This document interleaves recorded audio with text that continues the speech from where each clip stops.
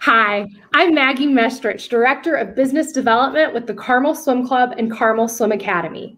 We share stories and experiences from our Carmel Swim Club alumni as a way to demonstrate the incredible, long lasting impact that swimming, and specifically swimming with Carmel Swim Club, can have on your life. Today, I am talking to Mark Cooney.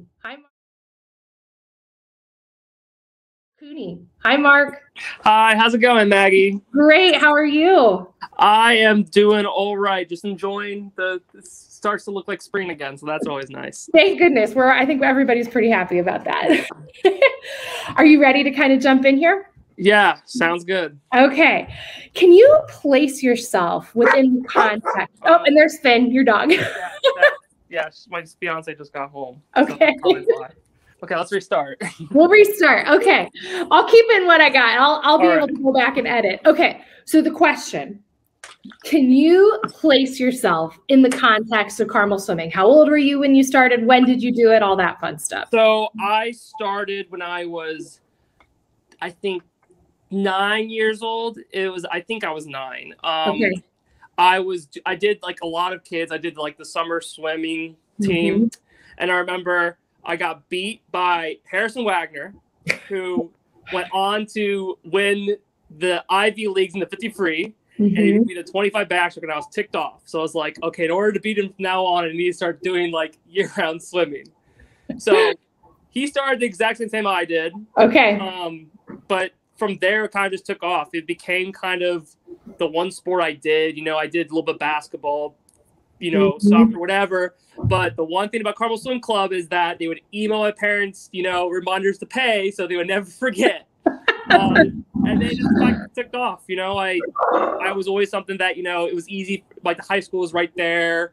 Um, you know, I just kind of just stuck with it. You know, all my Mhm. friends were swimming, so I just I just kept on doing it, and uh, so yeah. Okay, very good. Where are you now, geographically, professionally, personally, whatever you'd like to share? So I am um, in Central Indiana still. Moved around a little bit. Um, went to school in Pittsburgh. Then I moved around to Kansas City. I lived in Florida for a bit. Then I moved back here, and I currently work for Magellan um, RX, which is a pharmacy solution company. But Mhm. basically, I just do the business analytics for them. So Okay. sit, I sit and stare at spreadsheets all day. I was gonna I was gonna say there has to be a lot of spreadsheets involved in this. Basically, that's yeah, that's what I do all day. And you have a wedding coming up. I do. I'm getting married. I got engaged um, on July 7th. Um, Ah, that's my anniversary day. So July 7th is a good day. That's also Okay. my parents, which I, I didn't Oh. really realize because I we were supposed to go to Ireland. I Okay. had the ring, then everything kind of shut down. So um, I ended up having to basically. It got to the point where I was trying to like lead it on, but she kind of like knew I was coming. So I was like, well, I'm just gonna do it this day. And then like I was talking to my sister getting prepared. She goes, You realize that's the parents' anniversary. And so we went to the exact same restaurant my parents went to, which is kind Oh. of weird. But you know, we went, um, we got engaged in our, our backyard.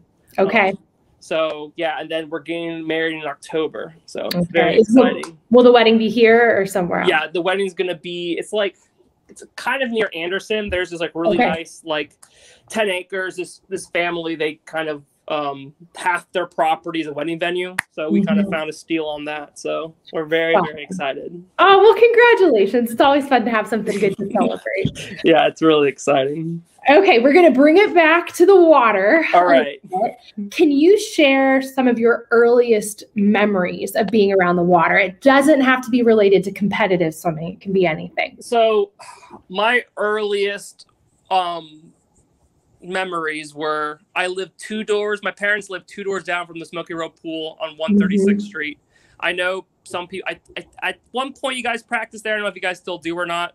Yeah. It's a while, but I remember I had private. I had a private swim lesson with one of the people who worked there. And I just remember every we go in the morning. I got really excited. I would jump in, have a big old smile on my face. My mom always thought that I was gonna drown because my wide was my mouth was so wide open.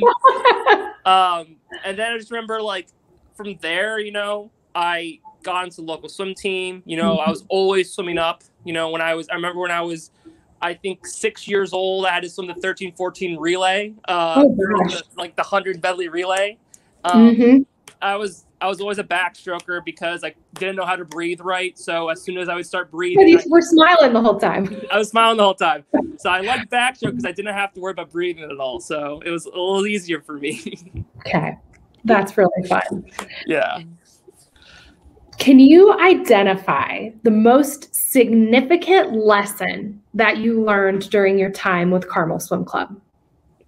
I would say it probably is a combination of you're gonna have to it's like just you have to work hard and Mhm. even when you work hard sometimes you won't get the results you want but if you just keep working at it and you just you know courage and perseverance you Yeah. know? I, I have that tattooed on my arm for a reason.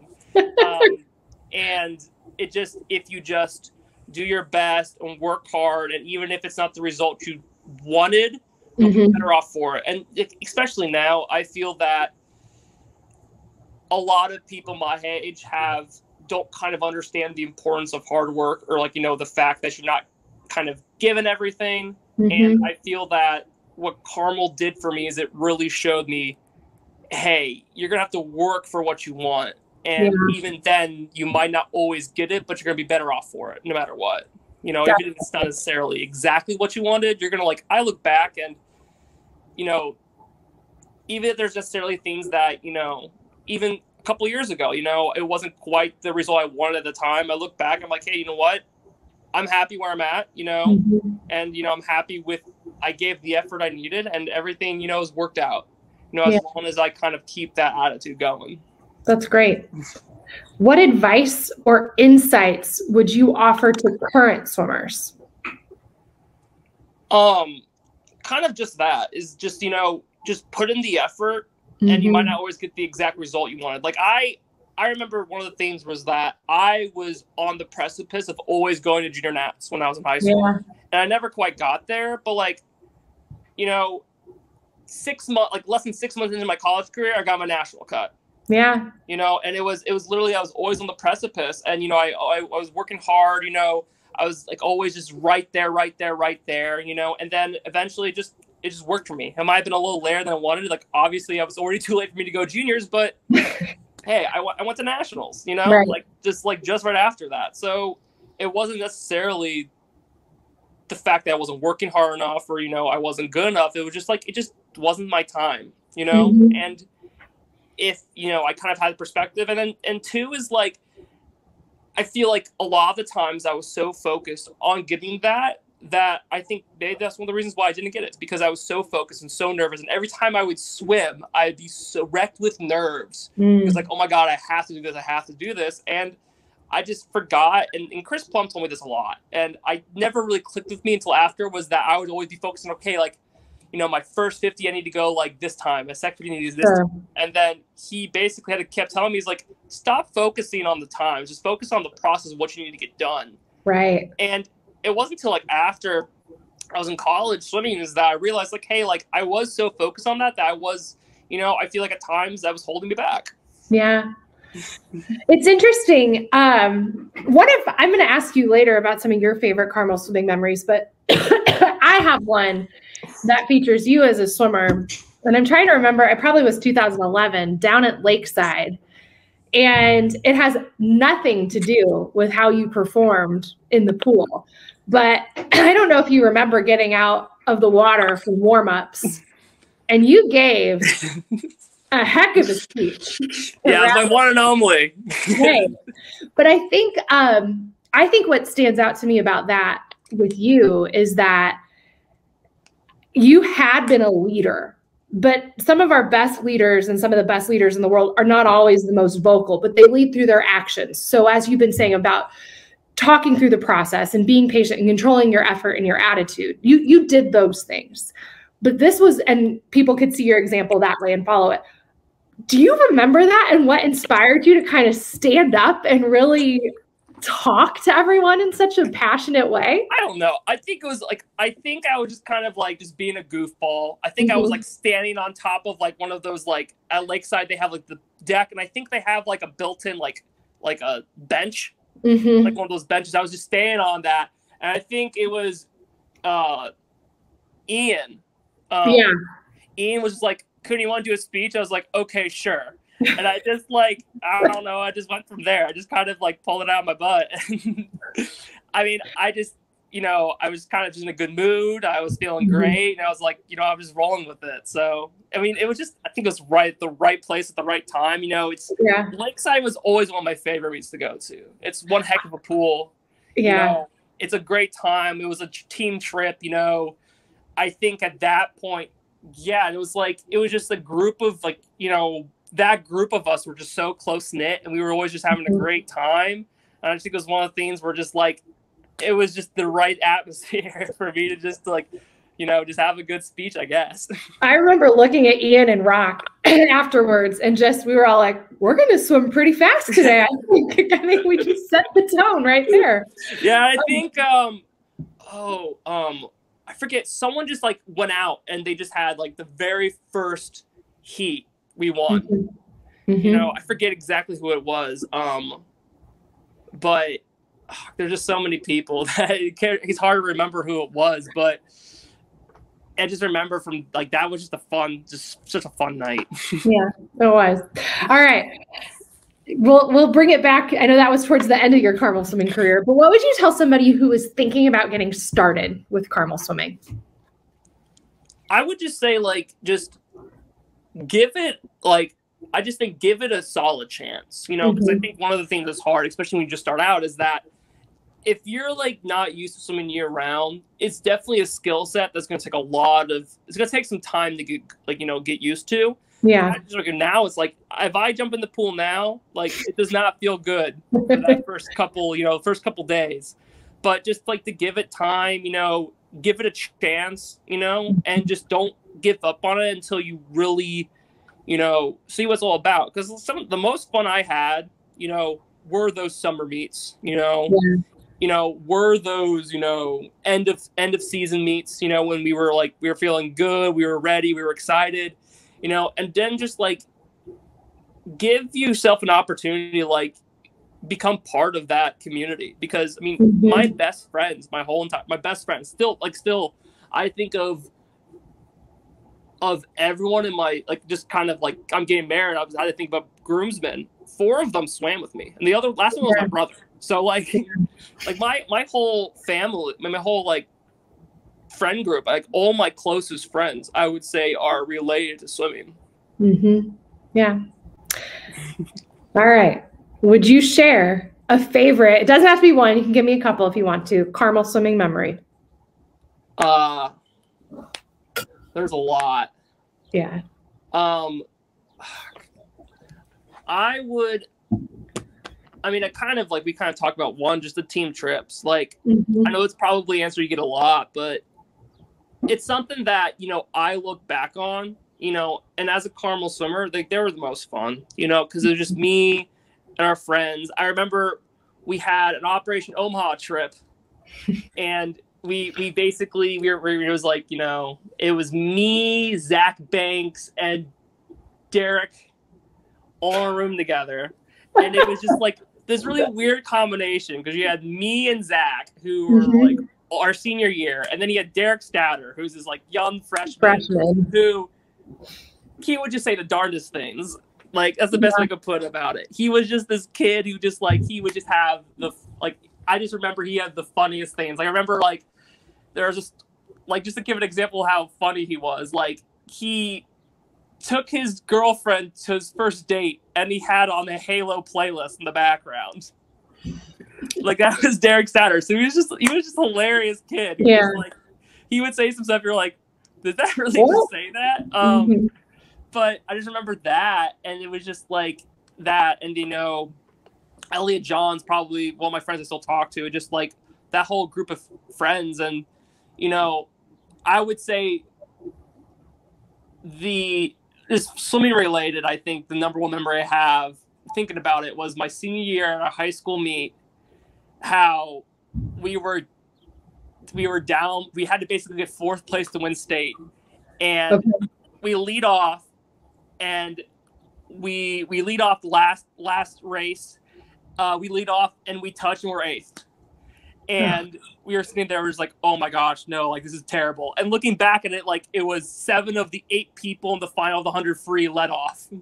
And then okay. we had Elliot, who was like probably like 15th or 16th, but it was like it was unfair for him. So we were sitting there like, oh my god, no. And just like the excitement we had as we like we got into the race, like we got a little closer, a little closer, a little mm-hmm. closer. And then John Ashensky comes in the last heat and he pulls the, you know, he sits there and he just drafts off the guy right next to him to get us up to it. And he pulls like a 45, which at the time was quick. Maybe, yeah. it's not as quick as it used to be. Uh, look at some of the times people are going now, but it was quick back then. I just remember that's probably one of the moments that I'm always going to remember. Yeah. him just coming in out of nowhere and just winning. And like, and that group of guys, mm-hmm. you know, thinking about it, like, I grew up with all of them. You know, I remember Elliot Johns was the first guy I, I swam with at Carmel. Yeah. You know, Zach Banks was a kid who came in late, but was a really good friend of mine. Jack Belford, you know, Clayton Hyam, um, you know, Vic Schleich, all those mm-hmm. guys, we, we grew up together. You know, we, we were around each other for more than we were with our families since we were like eight or nine, you know, yeah. and obviously, you know, some of us, you know, did it, you know, didn't stay the whole time. Some of us, you know, kind of came in, but like Michael Wayne, that was another one. Mm-hmm. And I just remember all these guys and just have that moment where, you know, we put so much on the line. It was so much of our like our, you know, friendship. That was the last meet where we were all together. We all were like, you know, going, you know, tapered for. And to have that you know, come so dramatically. And the fact that yeah. we almost, you know, lost state and then we kind of won at the last minute, it was just, it kind of was a culmination of kind of all the hard work we did and like kind of like, you know, you know, it was our last hurrah really yeah. that group. That's fun. Do you think there's anything that would surprise people to learn about Carmel Swim Club? I mean, I would say the one thing that I kind of always kind of got annoyed at when you kind of heard the stuff around was that kind of it was always like the rich kid school or like the mm-hmm. school with like all like you know everyone would move to go there. But i mean there's a reason for that is that we probably worked the hardest. We probably worked the smartest you know. We and it was all it was kids like you know it was it was just the fact that we were all dedicated to something and we were serious about it. Like mm-hmm. we didn't do any other activities. I remember, you know, my freshman year, one of our, like, you know, I remember someone was going to do a club and more of coaches like, you don't have time for that. Like you have to be dedicated to this, you know, and if you are dedicated, you're going to get some great results. Yeah. And, you know, and also just the fact that like, there was so many times where, you know, we were probably the busiest, but we also had some of the best grades. You know, we didn't have mm-hmm. time to mess around or get in trouble. Like we were, you know, we were we were basically just like, okay, like you get home at six o'clock at night, and it basically was like, well, I got practice tomorrow, you know, yeah. at six a.m. So I have to I have to make sure I get my homework done, you know, and we uh, my mom was always happy. She said like, you know, I was too tired to ever get into trouble. My mom said the same thing. you know, so I mean, that was the thing that I just think, you know, one of the things you kind of don't see is that it's really hard work. Like I don't want anyone to like kind of who's thinking about it to think it's going to just be a breeze, but like it's it's worth it, and you know it keeps you it keeps you disciplined. You know, that's one of the one the, the biggest thing that I kind of realized once I was done swimming is that like it kept me like to a like a schedule, and it kept me making yeah. sure that I got all my stuff that I needed to do because I didn't really have an option to goof around or not do anything I wasn't supposed to. Right. That's great. Anything else that you want to add or talk about? Oh, not really. I would just like say like that one of the things that I kind of look back at, you know, my times, I mean, you know, and especially with Carmel, you know, I have like I literally have a tattoo, you know, mm-hmm. courage and perseverance on my my shoulder, on my arm. Um and you know, at times, you know, like especially with Chris, like I would say he was looking back probably one of the smartest guys when it came to like the process of training and the process of yeah. swimming. You know, and I just remember that like, you know, he probably was really hard to me at times. We didn't always see eye to eye, but like mm-hmm. looking back at it, like I just remember this one time where we were like I was disagreeing with him about something. And he sat me down and we spent an hour after practice going over exactly why we were doing what we did. Yeah. You know, that's something that I kind of looked at and I appreciate as a person that, you know, he knew he was right, you know, because he spent a lot more time than I did on on this stuff. But he was willing to sit down and he was willing to explain it to me. And I just feel like, you know, just that just taught me how important it was as a person, you know, treat people like that. Yeah. Like, you know, always be the person to, you know, not just expect people to follow what you say because you say it, you know, and, you know, to be someone who can explain your decision making and explain what you're doing. And, you know, at times he'd do that. And I still disagree with him, but I had to respect why he did it. And, you know, mm-hmm. and I just feel like having someone like that, you know, as a coach, you know, and kind of looking back on kind of some of the people, you know, I deal with, it just it just made me so much, I think, a better man, a better person, you know, a better friend. Yeah. You know, and I just feel like it's just one of those one of those people that I think looking back at my life, I'm happy he was a part of it. That's pretty great. Well, it goes to show the mission. I mean, courage and perseverance is a great; those are great values. But our mission yeah. is to teach excellence through swimming for life. So, yeah. sounds I mean, like it worked out. I mean, it did. Yeah, and you know, it at times maybe you know i remember one time ian told me it was like there was moments he was like i was kind of worried how you're going to turn out but then he's like hey you, you, you did it you survived you turned out great so yeah you know i'm i wouldn't replace it for anything i think i think you know if i could go back in time i'd still do it um mm-hmm. You know it's you know it's something that I'll always cherish. You know, even if I'm not the best about being in the pool right now, Sure. Um, right. Like, you know, I wouldn't replace it for anything. And it's, I mean, it's, it, there's a reason why it's one of the best swim clubs in the country. Mm-hmm. Definitely.